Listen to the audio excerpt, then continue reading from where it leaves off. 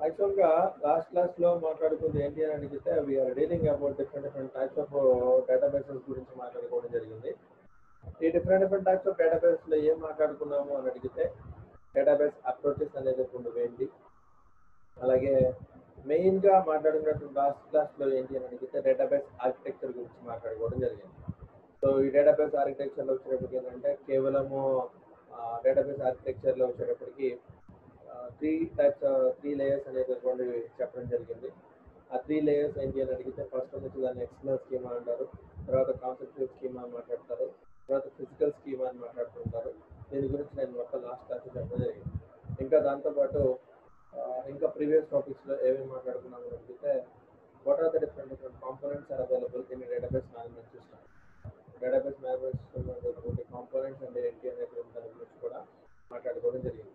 So now we are dealing the concept with for different different types of data models so what are the different data models are available in database management system అనేటువంటి దాని గురించి ఇప్పుడు చెప్పుకోవడం జరుగుతుంది so ఈ database model వచ్చేటప్పటికి ఏమవుతుంది అని అడిగితే ఇది రకరకాలైనటువంటి టూల్ అండి. అంటే చెప్పాలి అనుకుంటే మనకు ఏదైనా సరే మనం ఒక పని చేస్తున్నాము అని అడిగితే దానికంటూ సమ్ కైండ్ ఆఫ్ ప్రొసీజర్ అనేది సో దాన్ని వర్క్ చేయడానికి డెఫినెట్లీ ఏదో ఒక టూల్ అనేది ముందు కావాలి.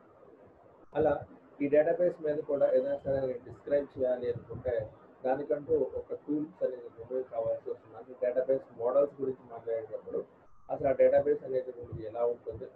వాటి మధ్యలో ఉండేటువంటి రిలేషన్షిప్స్ అనేటటువంటివి ఎలా ఉన్నాయి? వాటి మధ్యలో మనం కండిషన్స్ అనేటటువంటి అప్లై చేసుకోవచ్చా? ఇలాంటి వాటి వాటన్నిటిని డిస్కస్ చేసేటువంటి టాపిక్సే డేటాబేస్ మోడల్స్ అని మాట్లాడుతుంటారు అది చెప్తున్నాడు. The need of better data, better management introduce with several data models resolve a problem associated with the file processing system అంటే ఫైల్ ప్రాసెసింగ్ సిస్టంలో ఏవైతే ప్రాబ్లమ్స్ ఉన్నాయో ఆ ప్రాబ్లమ్స్ మొత్తానికి సొల్యూషన్ ఫైండ్ అవుట్ చేసుకుంటూ వచ్చినటువంటి దానికి కోసమే ఈ డేటా మోడల్ డేటా మోడల్స్ అనేటువంటిది చెప్పడం జరుగుతుంది. ఫైల్ మేనేజ్మెంట్ సిస్టంలో ఏవైతే ప్రాబ్లమ్స్ ఉన్నాయో ఆ ఫైల్ మేనేజ్మెంట్ సిస్టంలో ఉన్నటువంటి ప్రాబ్లమ్స్ని ఓవర్కమ్ చేస్తూ వచ్చినటువంటి కాన్సెప్ట్నే డేటాబేస్ మోడల్ అని చెప్తుంటారు. బేసికల్లీ ఈ డేటా మోడల్ అంటే ఏంటి అని అడిగితే data model is a collection of conceptual tools that describing the data relationship semantic and consistency of constants so అది చెప్పాను కదా డేటాబేస్ మోడల్స్ వచ్చేటప్పటికి ఏమవుతుంది అడిగితే ఈ డేటా అనేటటువంటి దాని గురించి అంటే దాని గురించి డిస్క్రిప్షన్ ఇవ్వడం జరుగుతుంది. యాజ్ వెల్ యాజ్ దాంతోపాటు వాటి మధ్యలో ఉండేటువంటి రిలేషన్షిప్స్ అనేటువంటి ఎలా ఉన్నాయి? యాజ్ వెల్ యాజ్ వాటి మధ్యలో ఉన్న కాన్స్టాన్స్ అనేది దాన్ని ఏమైనా మాట్లాడటం జరుగుతుందా? అనేటువంటి దాని గురించి చెప్పేదే ఈ డేటా మోడల్స్ అనేది చెప్తూ ఉంటారు. సో బేసికలీ ఈ డేటా మోడల్స్లో వచ్చినప్పటికి ఏంటని అడిగితే we are having three types of models first one will be called as hierarchical model అని మాట్లాడతారు. Second one will be called as network model అని మాట్లాడతారు. And the third one will be called as relational model అని చెప్తూ ఉంటారు. and fourth one ER model and fifth one object oriented model అని చెప్పడం జరుగుతుంది so basically five models of database data models చెప్తుంటారు first one will be called as hierarchical model second one will be called as a network model and the third one will be called as a relational model or relational database model అని మాట్లాడతారు and the fourth one will be called as a entity relationship model అని మాట్లాడుతుంటారు and fifth one will be called as a object oriented model అని చెప్పడం జరుగుతుంది so basically these are the five models are available in network data models చెప్తారు in data models అని మాట్లాడతారు so what you mean by data models అని అడిగితే that is nothing but it describes about the relationships as well as data types as well as semantics and as well as constraints of a particular data model మనం డేటాని ఎటువంటి store చేయడానికి database use చేసినప్పుడు ఆ డేటాబేస్లో data store చేయడానికి వాడేటటువంటి దానికి సంబంధించినటువంటి టూల్ ఒక టూల్ లాంటిది అనమాట ఏం చెప్తుంది అని అడిగితే మనం డేటాబేస్లో డేటా ఏదైతే స్టోర్ చేస్తున్నామో దానికి సంబంధించినటువంటి డేటా టైప్స్ కానీ వాటి మధ్యలో ఉండేటటువంటి రిలేషన్షిప్స్ కానీ అండ్ యాజ్ వెల్ యాజ్ వాటికి ఏమైనా కండిషన్స్ అప్లై చేస్తున్నామా అనేటటువంటి దాని గురించి చెప్పే కాన్సెప్టే ఈ డేటా మోడల్స్ అని చెప్తూ ఉంటారు. సో బేసికలీ ఇందులో first and very very first first powerful model ఏంటి అని అడిగితే హైరారికల్ మోడల్ అని మాట్లాడుతూ ఉంటారు so what mean by this hierarchical model అని అడిగితే జనరల్గా మనం ఎవ్రీ ఎన్విరాన్మెంట్ ప్రతి ఎన్విరాన్మెంట్లో అబ్జర్వ్ చేసినప్పుడు we have a hierarchy. So ఎవరు ఇండియన్ అడ్మినిస్ట్రేటివ్ సిస్టమ్ గురించి కనుక మాట్లాడాలి అనుకుంటే డెఫినెట్గా మనకి హైరార్కీ అనేది ఉంది. ఏంటి అని అడిగితే ఫస్ట్ వన్ ప్రెసిడెంట్ ఉంటారు. ప్రెసిడెంట్ కింద పిఎంస్ ఉంటారు. ఆ పిఎంస్ కింద some kind of chief ministers ఉంటారు. ఆ చీఫ్ మినిస్టర్స్ కింద ప్రిన్సిపల్ సెక్రటరీస్ ఉంటారు. సో ఇలా ఒక అడ్మినిస్ట్రేషన్ అనేది ఉంటుంది మనం ఫాలో అవడం జరుగుతుంది. ప్రెసిడెంట్ కింద డైరెక్ట్గా గవర్నర్స్ ఉంటారు. ప్రెసిడెంట్ కింద మన సెంట్రల్ గవర్నమెంట్ ప్రెసిడెంట్ కింద అయితే prime minister and as well cabinet ministers ఉంటారో. స్టేట్ లెవెల్కి వచ్చేటప్పటికి గవర్నర్ ఉంటారు. గవర్నర్ కింద CM and as well cabinet ministers ఉంటారు. అట్లా ఎలా అయితే మనకి అక్కడ ఒక ఒక పద్ధతి అనేటువంటిది ఒక level by level level by level అనేటువంటి అడ్మినిస్ట్రేషన్ ఉంటుందో అలాంటి వాటిని గురించి డిస్క్రైబ్ చేసేటువంటి కాన్సెప్ట్నే హైరాటికల్ మోడల్ అని మాట్లాడుతుంటారు అదే ఇన్ కేసు మనకి సాఫ్ట్వేర్ ఇంజనీరింగ్లో వచ్చేటప్పటికి ఏమవుతుంది అని అడిగితే ఫస్ట్ వన్ ఎవ్రీ సాఫ్ట్వేర్ ఇంజనీరింగ్లో ఒక సాఫ్ట్వేర్ డెవలప్ చేయడానికి ఎవరు ఉంటారు? ప్రాజెక్ట్ మేనేజర్ ఉంటారు. ఆ ప్రాజెక్ట్ మేనేజర్ కింద ఎవరు ఉంటారు? Some kind of team manager ఉంటారు. ఆ టీమ్ మేనేజర్ కింద టీమ్ మెంబర్స్ ఉంటారు. అలా లెవెల్స్ ఉంటాయి. అదే మనకు అదే భాష చెప్పాలి అనుకుంటే కాలేజ్ లెవెల్లో మాట్లాడుకోవాలనుకుంటే డెఫినెట్గా ఫస్ట్ హెడ్ ఆఫ్ ఇన్స్టిట్యూషన్కి వస్తూ ప్రిన్సిపల్. ప్రిన్సిపల్ కింద ఉండేటువంటి వాళ్ళు ఎవరు ఉంటారు? హెడ్ ఆఫ్ ద డిపార్ట్మెంట్స్ ఉంటారు. ఆ హెడ్ ఆఫ్ ద డిపార్ట్మెంట్స్ కింద ఎవరు ఉంటారు? స్టాఫ్ మెంబర్స్ ఉంటారు. And as well as level పైన అదే స్టూడెంట్ లెవెల్కి వెళ్ళేటప్పటికి ప్రిన్సిపల్ ప్రిన్సిపల్ కింద head of the department head of the department కింద క్లాస్ టీచర్స్ ఉంటారు. క్లాస్ టీచర్స్ కింద మీకు సిఆర్లు ఉంటారు క్లాస్ రిప్రజెంటేటివ్స్ ఉంటారు వాళ్ళ కింద స్టూడెంట్స్ ఇలా some kind of level by level hierarchy ఉంటుంది. ఆ లెవెల్ బై లెవెల్ హైరార్కీని రిప్రజెంట్ చేసేటువంటి కాన్సెప్ట్నే హైరారికల్ మోడల్ అని మాట్లాడతారు. సో ఇందులో వచ్చినప్పటికి ఏమవుతుంది అడిగితే లాజికల్ స్ట్రక్చర్ అండి కరెక్ట్ చెప్పాలంటే. It represents the logical structure that will represent the top down tree structure top down tree structure చెప్పాను కదా ఫస్ట్ మామూలుగా టాప్ డౌన్ ట్రీ ఎలా ఉంటుంది రూట్ రూట్ కింద చిల్డ్రన్ అలా ఉంటారు కదా. సో అదే రేంజ్ ఇక్కడ కూడా ఉంటుంది అంటే top down tree structure represent చేయడం జరుగుతూ ఉంటుంది. This structure contains several levels కింద చెప్పినట్టుగానే several levels where each level contains several record types of a file system. Level by first level second level third level అలా level by level ఉంటుంది. ఆ level by లెవెల్లో వచ్చినప్పటికి ఏమో ఏ type of file system అనేటువంటి ఉండడం జరిగిందని చెప్తుంటారు సో దిస్ అబౌట్ ఎలా ఉంటుంది చూడడానికి ఫస్ట్ వన్ రూట్ ఆ రూట్ కింద సబ్ రూట్ దాని కింద మళ్ళీ కన్స్టెంట్ దాని కింద మళ్ళీ ఇంకా లెవెల్ బై లెవెల్ వెళ్తుంటారు ఇలా లెవెల్ బై లెవెల్ ఉంటుంది. అండ్ ఇందులో గుర్తుపెట్టుకోవాల్సిన అయితే పైన ఉండేటువంటి దాన్ని పేరెంట్ అంటారు కింద ఉండేటువంటి దాన్ని చైల్డ్ అంటారు సో మనకి బైనరీ ట్రీస్ చెప్పేటప్పుడు ఒక రూట్కి కేవలం రెండు సార్లు రెండు చైల్డ్ మాత్రమే ఉంటుంది అనేటువంటి కాన్సెప్ట్ ఉంటుంది. సో ఇక్కడ అలా కాదు ఎన్నైనా ఉండొచ్చు. కాకపోతే ఏమవుతుంది అడిగితే పేరెంట్ అండ్ చైల్డ్ రిలేషన్షిప్ అనేటటువంటిది ఉండటం జరుగుతూ ఉంటుంది. ఇక్కడ ఫాలో అయ్యేటటువంటి రిలేషన్షిప్ ఏంటి అని అడిగితే one to many relationship so one root ఉన్నప్పుడు ఎంతమంది చిల్డ్రన్ అయినా ఉండొచ్చు. అలాంటి వాటిని వన్ టు మెనీ రిలేషన్షిప్ అని మాట్లాడుతూ ఉంటారు. సో దీనివల్ల వచ్చేటువంటి లాభాలు ఏంటి అని అడిగితే దట్ హైరారికల్ ఆర్కిటెక్చర్ వచ్చినప్పటికి ఏంటంటే మెయిన్ అడ్వాంటేజ్ ఏంటంటే డేటా సెక్యూరిటీ ఉంటుందండి ఎందుకు అని అడిగితే ఎవరికి వాళ్ళు ఇండివిజువల్గా లెవెల్ బై లెవెల్ మెయింటైన్ చేసుకుంటూ వెళ్తారు కాబట్టి ప్రతి లెవెల్లో సమ్ కైండ్ ఆఫ్ సెక్యూరిటీ అనేటువంటి చాలా ఎక్కువగా ఉండటం జరుగుతుంది. అదేవిధంగా పెద్ద డేటాబేస్ కనుక ఉన్నప్పుడు ఆ పెద్ద డేటాబేస్ మేనేజ్ చేయడం కూడా సో సింపుల్ చాలా ఈజీగా మేనేజ్ చేసుకుంటూ వెళ్ళచ్చు బట్ దీనిలో వచ్చినటువంటి ఈ రెండింటి గురించి కనుక మాట్లాడాలంటే these are two advantages for the hierarchical database manage system and hierarchical model అని చెప్పుకుంటారు first one will be called as database security security చాలా పవర్ఫుల్గా ఉంటుంది. And the second one will be called as dealing large database so పెద్ద పెద్ద database కూడా maintain చేయాలి అనుకుంటే చాలా సింపుల్గా మెయింటైన్ చేసుకుంటూ వెళ్ళచ్చు అండ్ దీనిలో ఉండేటటువంటి మెయిన్ ప్రాబ్లం ఏంటి అని అడిగితే కాంప్లెక్స్ ఇంప్లిమెంటేషన్ సో దీన్ని డిజైన్ చేయడమే చాలా కాంప్లికేటెడ్గా ఉంటుంది. ఎందుకు అని అడిగితే first level second level third level fourth level అలా డిజైన్ చేసుకుంటూ వెళ్ళాలి కదా. ఆ డిజైన్ చేసేటువంటి ఎన్విరాన్మెంటే కొంచెం ప్రాబ్లమేటిక్గా ఉంటుందని చెప్పేసి చెప్తూ ఉంటారు. అండ్ సో దీన్ని మేనేజ్ చేయడం కూడా చాలా ఇబ్బందికరంగా ఉంటుందని చెప్తుంటారు so this is about hierarchical model అని చెప్తుంటారు and after the completion of the hierarchical model second level will be called second level second model will be called as network model అని చెప్తూ ఉంటారు. సో ఈ నెట్వర్క్ మోడల్ వచ్చేటప్పటికి ఏమవుతుంది sir అని అడిగితే ఎక్కడైతే చాలా రిలేషన్షిప్స్ అనేటటువంటి కానీ ఒకదానికి ఒకదానికి ఇంటరాక్షన్ ఉండాలి అని అనుకున్నాం అనుకోండి సార్ అలాంటి వాటిని మెయింటైన్ చేయాలి అనుకుంటే ఈ నెట్వర్క్ మోడల్ అనేటటువంటిది చెప్పడం జరుగుతూ ఉంటుంది. సో నెట్వర్కింగ్ వచ్చేటప్పటికి ఏమవుతుందని అడిగితే ఇందులో లింకింగ్ అనేటటువంటి చాలా వన్ టు వన్ అనేటటువంటిగా వన్ టు మెనీ కానీ వన్ టు వన్ రిలేషన్షిప్స్ కానీ ఫామ్ చేసుకుంటూ వెళ్తారు. ఇందులో కూడా అంతేనండి. సో ఏమవుతుంది అని అడిగితే ఇందాక మనకి హైరారికల్ మోడల్ వచ్చేటప్పటికి ఒక పేరెంట్ రెండు కానీ అంతకన్నా ఎక్కువ చిల్డ్రన్ కానీ ఉండొచ్చు. కానీ ఇక్కడ వచ్చినప్పటికి ఏమవుతుంది అడిగితే ఒక్కొక్క నోటికి రెండు కానీ అంతకన్నా ఎక్కువ పేరెంట్లు ఉండొచ్చు. సో రివర్స్ మాట్లాడుతున్నాం. సో అదే ఇక్కడ చూడండి sir. For example for example దీన్ని తీసుకున్నాం అనుకోండి సార్. ఈ నోడ్ కనుక తీసుకున్నప్పుడు ఈ నోడ్కి వచ్చేటప్పటికి ఇటు నుంచి పేరెంట్ వస్తుంది ఇటు నుంచి పేరెంట్ వస్తుంది. సో ఒక లింకింగ్ అనేటటువంటి ఒక ప్రాపర్ ఆర్డర్ అనేటటువంటిది ఇందులో ఉండదండి. సో ఆ నెట్వర్క్ ఈజ్ నథింగ్ బట్ ఇప్పుడు కథ చెప్పాలి అనుకుంటే మన ఫోన్స్ ఉన్నాయి అనుకోండి సార్. మన ఫోన్ నుంచి ఎన్ని నెంబర్స్ కైనా సరే కాల్ చేసుకోవచ్చు కదా. So those are comes network. So అలా నెట్వర్క్ మోడల్ అనేటటువంటిది చెప్పడం జరుగుతుంది. అండ్ ఆల్సో ఇది కాంప్లెక్స్ డేటా రిలేషన్షిప్స్ అనేటటువంటి చాలా ఎఫెక్టివ్గా పనిచేస్తుంది ఎంత టిపికల్గా ఉన్నా సరే చాలా ఈజీగా డిజైన్ చేసుకుంటూ వెళ్ళచ్చు. సో ఇది వచ్చినప్పటికి ఏమవుతుంది అని అడిగితే ఒకేసారి నెంబర్ ఆఫ్ యూజర్స్ని కూడా సపోర్ట్ చేస్తూ ఉంటుంది. So that's what will support one to many relationships అని చెప్తూ ఉంటారు.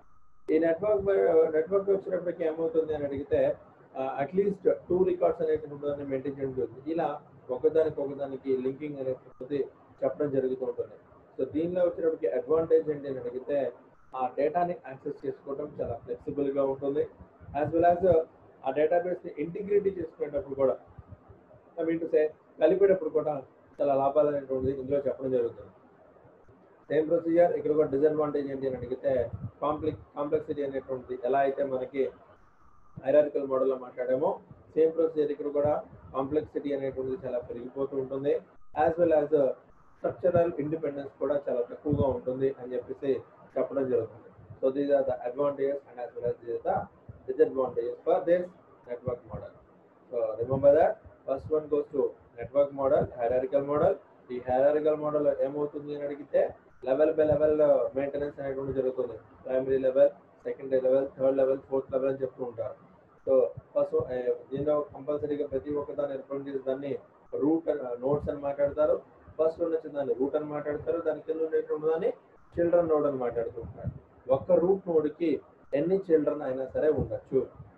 అదే మనకి in case of binary tree గురించి మాట్లాడదాం అనుకోండి sir. There is only one root and there is only two children so there is a stick on but in case of comes to this this hierarchical model there is no condition if there is one root it can have many number of children. So there is no there is no need to necessity there is no need to uh, provide any condition only that not having only two children only there is no condition. So this type of environment will become under this hierarchical model. So the main purpose of this hierarchical model is nothing but simply say there is a parent and child relationship is there. So with one parent having so many children, no problem at all. But parent and child relationship must must. And the relationship comes to one to many. So these are the advantage goes to uh, security is more while implementing this data model and as well as the efficiently dealing with large database. So when the database is so big, so no at it can easily deal. But the main problem is implementation is very very difficult and as well as management is also very very difficult for this hierarchical. And coming to second level will be called as network model. In network model, the main uh, advantage is nothing but whenever the complex database is there, so that complex database re- relationship to implement this network model is very, very useful. The main difference between those two hierarchical model and as well as network model is nothing but in, in hierarchical model, there is only one parent and two or more children. But in case of comes to network model, if one node available, that node having two or more nodes connectivity is there. Two or more parents are there. So it, it can have a some kind of network procedure. So it can provide very, very complicated relationship is also implemented here. In this also they are following one to many relationship. So the main advantage of this network model is nothing but data access flexibility is more as well as database integrity is also available.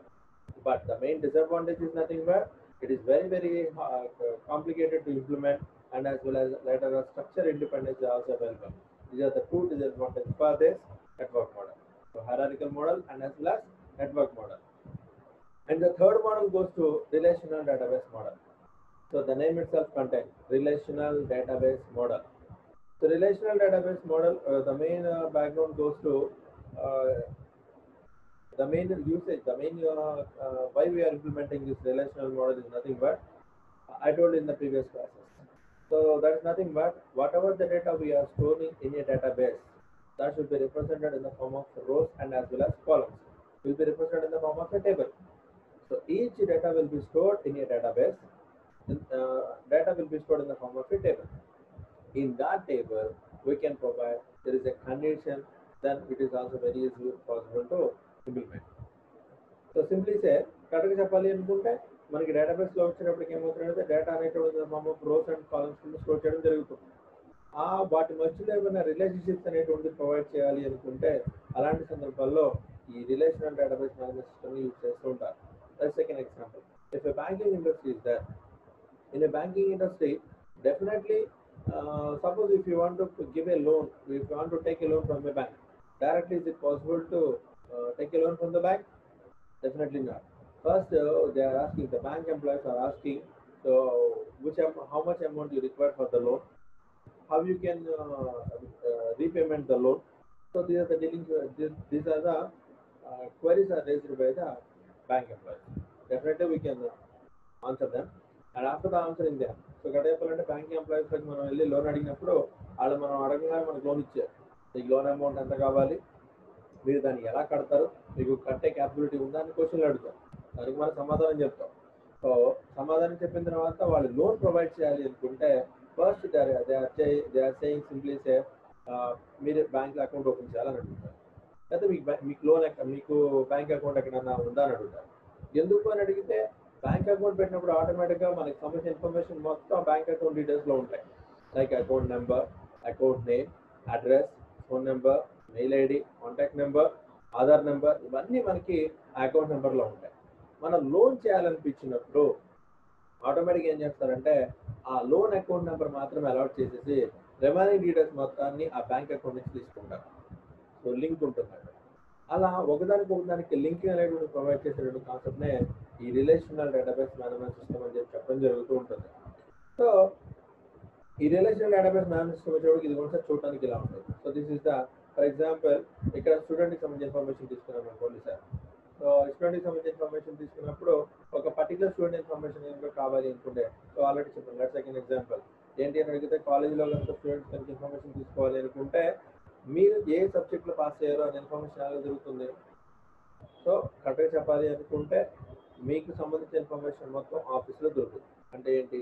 మీ పేరు మీ father పేరు మీ address మీ contact number mail ID మీకు మీకు సంబంధించిన admission number ఇవన్నీ ఇవన్నీ ఆఫీసులు దొరుకుతాయి ఆ ఆఫీసులో ఇచ్చినటువంటి చెప్పినటువంటి నెంబర్ని బేస్ చేసుకుని మ్యాథమెటిక్స్ డిపార్ట్మెంట్లో వచ్చినవాడికి మీకు ఇంటర్నల్ మార్క్స్ ఎన్ని వచ్చినాయి? ఎక్స్టర్నల్ మార్క్స్ ఎన్ని వచ్చినాయి? ల్యాబ్ మార్క్స్ ఎన్ని వచ్చినాయి? అనేది మొత్తం maths department the same procedure will be comes same number base చేసుకుని కంప్యూటర్ సైన్స్ డిపార్ట్మెంట్లో కూడా మీ అడ్మిషన్ నెంబర్ ఎంత మీ పేరు ఎంత మీకు ఇంటర్నల్ మార్క్స్ ఎంత ఎక్స్టర్నల్ మార్క్స్ ఎంత రికార్డ్ ఎంత వైవై ఎంత ప్రాజెక్ట్ అవ్వచ్చు ప్రాజెక్ట్ సంబంధించిన ప్రాజెక్ట్ మార్క్స్ ఎన్ని ఇలాంటి వాటిని మెయింటైన్ చేసుకుని వెళ్తారు అన్ని కావాలనిపించింది అనుకోండి సార్ అన్నింటినీ కంబైన్ చేస్తే కానీ మీకు సంబంధించిన మార్క్ షీట్ రాదు. సో అదే ఇక్కడ చెప్తాం.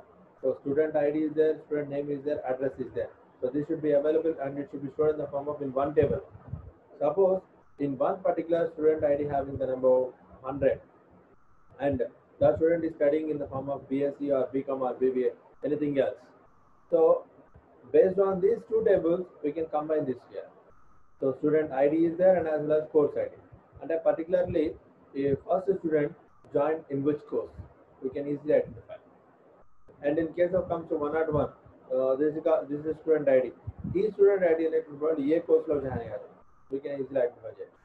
So ఇలా మనం రకరకాలైనటువంటి కంబైన్ చేసుకుంటూ రిలేషన్షిప్ అనేటువంటి తెలుసుకోవాలి అనుకుంటే ఈ ఆర్టీబీఎంఎస్ అనేది బాగా ఉపయోగపడుతూ ఉంటుందని చెప్తూ ఉంటారు అండ్ దీనివల్ల వచ్చిన లాభాలు ఏంటి అని అడిగితే ఈ డేటాబేస్ డిజైన్ చేయడం కానీ దాన్ని ఇంప్లిమెంట్ చేయడం కానీ చాలా ఈజీగా ఉంటుంది. అండ్ యాజ్ వెల్ యాజ్ దీనిలో వచ్చిన మేజర్ ట్రబుల్ ఏంటి అని అడిగితే దానికి సంబంధించిన హార్డ్వేర్ రిక్వైర్మెంట్ కావాలి as well as software requirement కావాలి. బట్ దాన్ని డిజైన్ చేయడం అనేటువంటిది కూడా ఇక్కడ చాలా కాంప్లికేటెడ్గా ఉంటుందని చెప్పి చెప్తూ ఉంటారు. So these are the two disadvantage and advantage ఏంటి అని అడిగితే easier database design and as well as implementation of management and use దీన్ని ఇంప్లిమెంట్ చేయడం కానీ దీన్ని వాడుకోవడం కానీ చాలా ఈజీగా ఉంటుంది. ఇది ఒక చాలా పవర్ఫుల్ డేటాబేస్ మేనేజ్మెంట్ సిస్టమ్ అని మాట్లాడుతూ ఉంటారు. బట్ దీనిలో వచ్చేటువంటి ట్రబుల్ ఏంటి అని అడిగితే దాన్ని మెయింటైన్ చేయాలి. ఐ మీన్ దాన్ని ఇంప్లిమెంట్ చేయాలి అనుకుంటే దానికంటూ సంబంధించిన హార్డ్వేర్ మెయింటైన్ చేయాలి as well as software maintain చేయాలి. దాని యొక్క డిజైన్ చేయడం కానీ దాన్ని దాన్ని క్రియేట్ చేయడం కానీ ఇవి చాలా కాంప్లికేటెడ్ అని చెప్పి చెప్తూ ఉంటారు. So this is about our third level that is third model that is called as relational database model అని చెప్తూ ఉంటారు. సో ప్రస్తుతానికి నేను ఇక్కడ కాబోతున్నాను.